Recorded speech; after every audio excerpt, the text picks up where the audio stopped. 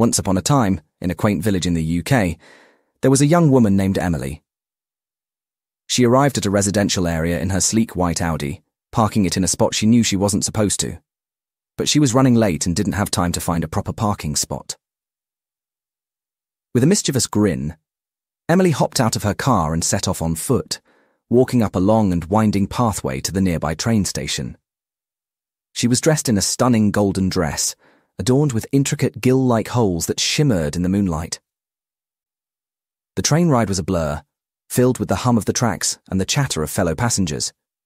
When she finally arrived at the nightclub in the city, Emily was swept up in the pulsating music and the energy of the crowd.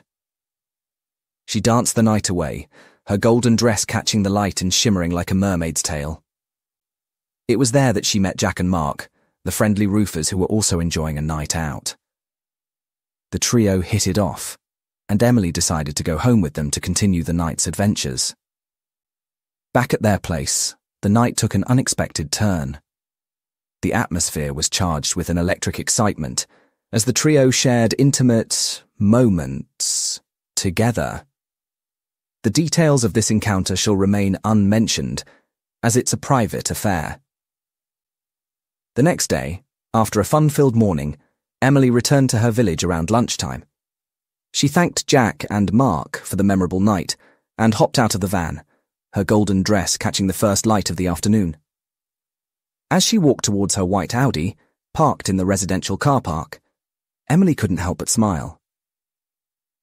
The night had been full of surprises, but it was the kindness of strangers that had made it an unforgettable experience and as she drove off into the sunny afternoon, she knew that this was a night she would never forget.